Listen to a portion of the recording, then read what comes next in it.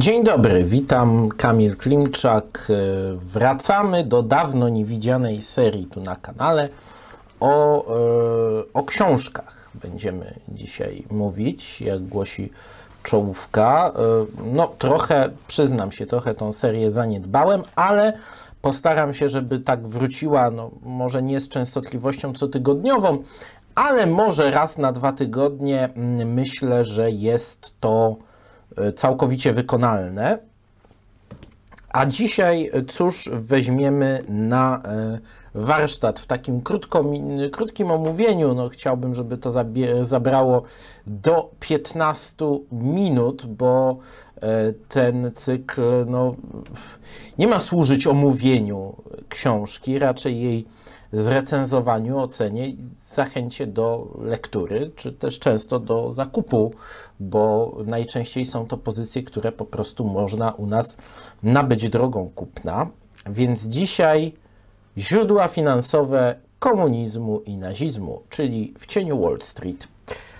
Pierre de Villemarais, autor francuski. Mm, książka wydana pierwotnie w roku 1984 we Francji.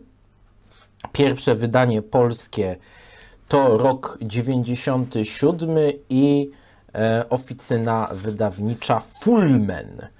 E, a jak Fulmen, to nie powinno nas dziwić, że w 2021 e, roku, chociaż słowo, słowo wstępne to jest 2019, więc to jest ten egzemplarz, który mam, to jest do druk w 2019 drugie wydanie i potem, i potem kolejne w 2021 to już jest y, Centrum Edukacji i Rozwoju imienia biskupa Kajetana Sołtyka, czyli to, co znamy mm, z YouTube'a jako Centrum Edukacyjne Polska czyli, e, czyli Rafał e, Mosakowski. No tu akurat na okładce jeszcze Centrum Edukacyjne Powiśle, bo jeszcze wtedy, w momencie, kiedy wychodziło w 2019, e, to, to można powiedzieć, no jeszcze istniało Centrum Edukacyjne Powiśle, aczkolwiek już tutaj jesteśmy jako patroni medialni nawet z tyłu uwzględnieni, to taka drobna autoreklama ale co do samej e, książki i samej treści, bo o autorze dowiemy się już ze słowa wstępnego, które e, napisał dr Krzysztof Kawęcki, mm, że Pierre de Villemarais jest autorem około 30 książek o tematyce historycznej. Urodził się w 1922, walczył we francuskim ruchu oporu, był e, oficerem francuskiego wywiadu, zajmował się Europą Wschodnią, potem był dziennikarzem, założył Europejskie Centrum Informacji w 1970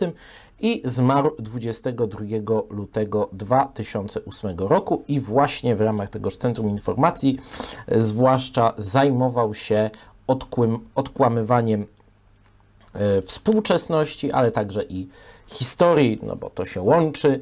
E, natomiast e, tutaj myślę właśnie osoby, które, e, które mm, interesują się historią XX wieku i interesują się zwłaszcza tym drugim i trzecim dnem, bo ja bym to powiedział tak na swój użytek, że drugie dno to jest to, co my znamy, to co na przykład ukrywały mm, totalitaryzmy, przed nami, czy w tym wypadku komuniści, różne tam jakieś tajne protokoły do paktu Ribbentrop-Mołotow na przykład. A trzecie dno to są właśnie te powiązania finansowe. Tu mamy całą historię jeszcze od, y, począwszy od pierwszej wojny światowej, jak y, y, jakie były powiązania między walczącymi stronami, jak różna, różnej maści E, finansjera międzynarodowa zarabiała sobie i de facto teoretycznie przedstawiciele stron wojujących robili e, dobre e, interesy. Jak ukształtowano po I wojnie światowej ład międzynarodowy, tu jest zresztą ciekawa, ciekawe rozprawienie się z mitem zachodniej interwencji w Rosji, no bo to na pewno wielu dziwi, jak to zwycięskie mocarstwa w I wojnie światowej, to atakujące w kilku miejscach przecież, i na dalekiej północy, i na dalekim wschodzie, i na południu, razem z białymi generałami nie były w stanie słabej, herlawej rewolucji bolszewickiej zdusić. No otóż e, nie bardzo chciały, to wszystko były były y, pozory. Y, no tak samo oczywiście też wsparcie jakby dla bolszewików, dla tego wirusa bolszewickiego, które jak wiemy Niemcy zaszczepiły w Rosji, ale niekoniecznie tylko swoimi niemieckimi e, pieniędzmi i swoim niemieckim pomysłem. Tam ktoś też dołożył swoje cegiełki. Tutaj na przykład bardzo ciekawe są, e, bardzo ciekawe jest omówiona rola takiego, mm, takich panów jak e, Rockefeller, jak JP e, Morgan i tak dalej, i tak dalej. Również kwestie to, tego, co my już znamy dość dobrze, na przykład współpraca niemiecko-sowiecka E, w trakcie dwudziestolecia międzywojennego po układzie w Rapallo e, na polu właśnie chociażby przemysłowym produkcji zakazanej Niemcom przez traktat wersalski broni, to wiemy. O tym mniej więcej z książek historycznych się dowiemy, natomiast tutaj też dowiadujemy się, którzy przemysłowcy, i to nie tylko niemieccy, ale również i inni, E, zajmowali się e, właśnie e, dosypywaniem pieniędzy do tych interesów niemiecko-sowieckich, wzmacniając, wzmacniając obie strony, dofinansowując potem też znanego austriackiego akwarelistę. To też jest ciekawa sprawa, na przykład rola Henry'ego Forda jest tutaj opisana, czy też takie, takie postacie kluczowe, chociażby Y, trzykrotny prezes Reichsbanku Hjalmar Schacht. To też jest postać, y, co do której warto się zapoznać z jej życiorysem, drogą życiową, etc., etc. A także, no właśnie, jak Zachód również y, nie tylko samą rewolucję, jak ta międzynarodowa banksterka, jakby to powiedział Sebastian Pitoń, E, wspierała rewolucję bolszewicką, ale też samą Rosję sowiecką. Tutaj dorzucę jeden fakt spoza książki. E, znacie Państwo na pewno Rudy 102, czyli czołg typu T-34 i te jego tam duże koła. Toć przecież wynalazek e, amerykański niejakiego pana Waltera Christie. Christie ten swój czołg.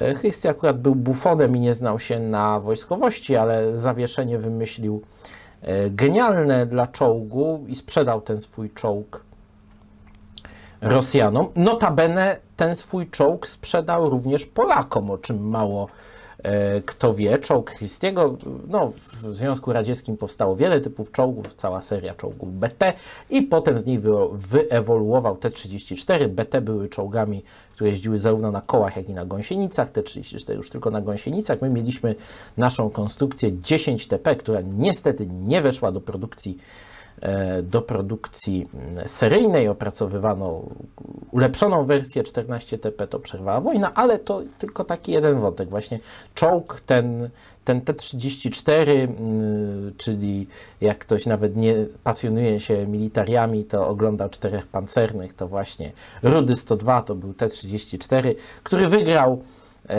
Sowietom II wojnę światową. Konstrukcja e, oparta na pomysłach e, amerykańskich, właśnie pana Waltera Christie. I ten czołg popłynął do Sowietów na przełomie lat 20. i 30., chyba na początku 30., jeśli mnie pamięć nie myli. No wtedy jeszcze ZSRR, no może już nie znajdował się w takiej pełnej izolacji, ale jednak ale jednak no, nie było to państwo, któremu się tak sprzedawało jakąś tam nowoczesną e, broń. No co tu dużo mówić, zresztą wcześniejsze te czołgi, na przykład T-26, najpopularniejsza konstrukcja, na której Sowieci jechali na Polskę w 1939, czołg brytyjski Vickersa, ale akurat wtedy na Vickersach jeździła cała Europa. Dość tych dygresji. Wracamy do książki. E, należałoby podać, proszę Państwa, e, tak jak trochę właśnie przy czołgach, dane taktyczno-techniczne tej książki. E, książka jest podzielona na, no jest oczywiście słowo wstępne, no to autorze, przedmowa, wprowadzenie, 12 rozdziałów, aneksy i posłowie. Y, czyli no odliczając y, tutaj jakieś tutaj jeszcze można powiedzieć bloki reklamowe 300 mm, stron, nieco ponad 300 300 e, stron, e, format taki dosyć niewielki, więc czyta się, e, czyta się dość zgrabnie. Te aneksy myślę, że są dość ciekawe. Y, chociażby jak taki aneks kierownictwo koła Keplera i jego związki z koncernami wielonarodowymi. Y, czy też y, no, takie różne kwiatki, dokumenty, jak na przykład zlecenie przelewu z datą 2 marca 33, 60 tysięcy marek z konta General Electric na fundusz wyborczy Hitlera, zarządzany przez wspomnianego przeze mnie Szachta i Rudolfa Hessa. E, same aneksy są już bardzo ciekawe, a treść jest moim skromnym zdaniem jeszcze, mm, jeszcze ciekawsza. E, myślę, że zwłaszcza interesujące e, są jednak te wątki, bo o tym, że co po niektórzy zachodni finansiści podsypywali e, owsa mm, Hitlerowi, to o tym już gdzieś gdzie niegdzie się mówi.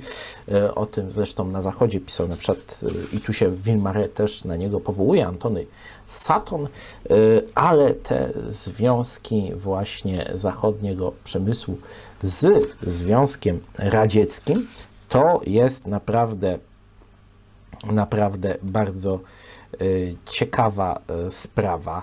Y, myślę, że tutaj, tutaj te rozdziały poświęcone źródłom, trzeci, czwarty Wall Street u źródeł rewolucji sowieckiej, Lenin i Trocki i niemieckie pieniądze, rozdział czwarty, szósty Wall Street na pomoc gospodarce sowieckiej i to, to są te właśnie najciekawsze, najciekawsze e, elementy tej e, publikacji.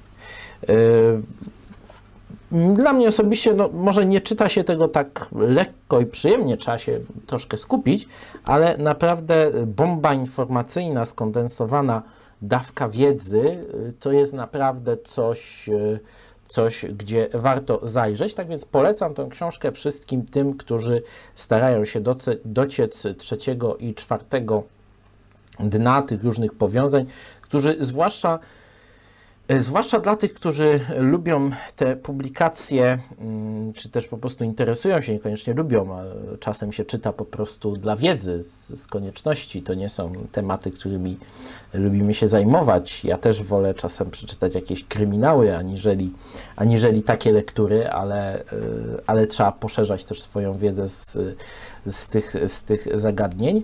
E, chociażby książki właśnie różnego rodzaju, o różnego rodzaju globalistach, szwabach i tym podobnych tematach, to e, e, jeśli wgryzamy się w tematy obecnych sterników naszej rzeczywistości, tam z tylnego siedzenia, to może warto zrobić sobie podbudowę historyczną i zobaczyć, jak to robiono 100 lat temu, 70, 80, to myślę, że porównanie może być dosyć e, ciekawe i interesujące, więc jeszcze raz polecam Pierre de Villemare, Źródła finansowe komunizmu i nazizmu, czyli w cieniu Wall Street, u nas do nabycia, chyba nawet, chyba nawet troszkę taniej niż gdzie indziej, bo my mamy jeszcze egzemplarze, które były drukowane przed inflacją,